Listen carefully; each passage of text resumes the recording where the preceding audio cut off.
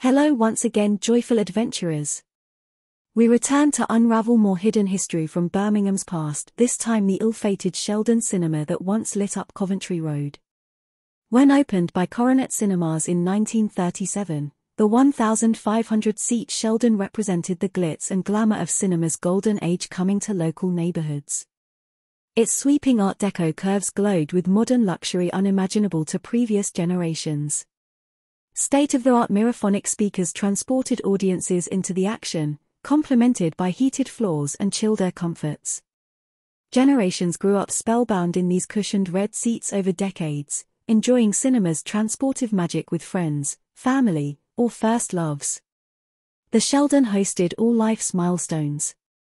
Its exterior glittered as a beacon for Sheldon residents through gloomy times too, providing uplifting escapes during the Second World War and reassuring continuity into the rock and roll 1950s as Birmingham recovered. Yet the writing was sadly on the wall for the Sheldon by the 1970s as audience habits shifted from lavish independence to stripped-back multiplexes, or just staying home as TV quality improved. The final credits rolled in November 1977 with Orca closing a chapter on over 40 years of theatre history. Campaigners knew every lost cinema dimmed local life. But the wrecking balls inevitably came for the Sheldon. All was not lost however.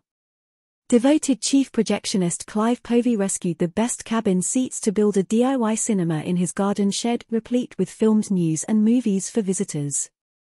However, this unique setup went up in flames too in 1981 when film cans ignited, eerily mirroring the Sheldon's demise. Today a supermarket stands squared off where the Sheldon once swept audiences into celluloid dreams.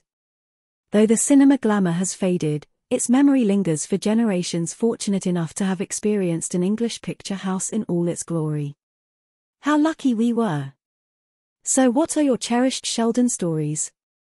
Do you share memories of where you sat, what you snacked, who held your hand in the dark.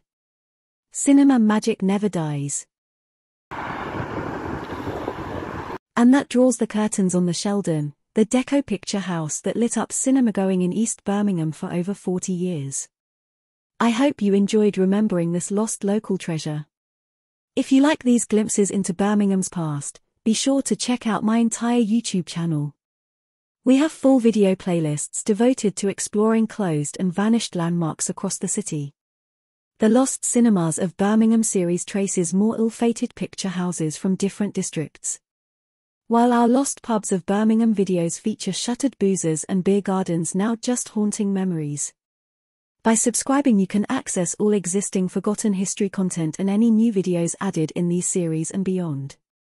Your support lets us keep documenting Birmingham's heritage. So until next time my fellow history hunters, here's wishing you joyful days ahead. Please share more memories of classic Birmingham below. Cheerio!